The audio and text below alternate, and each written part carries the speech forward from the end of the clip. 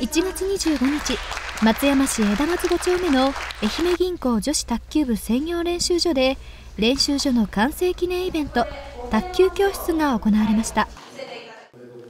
これは笑顔をつなぐ愛媛国体愛媛大会に向けて新しく愛媛銀行女子卓球部の練習所が完成したことを記念し行われたものです。